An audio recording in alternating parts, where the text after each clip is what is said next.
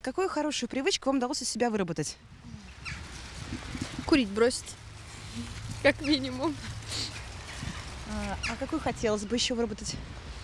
Ну, не знаю, научиться экономить, наверное, деньги.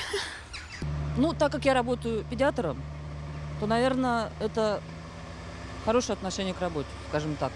Хотя бывает тяжело, бывает эпидемии, бывает много вызовов, вы это понимаете, да?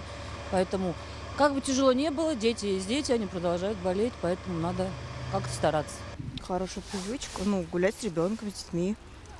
Ранние подъемы. Ранние подъемы, они помогают мне больше успевать в течение дня. И чувствую себя намного лучше.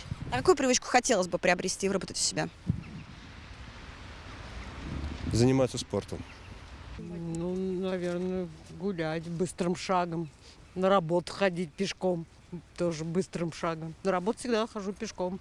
Не знаю, я как бы научилась не обращать внимания на все плохое, все, что случается там.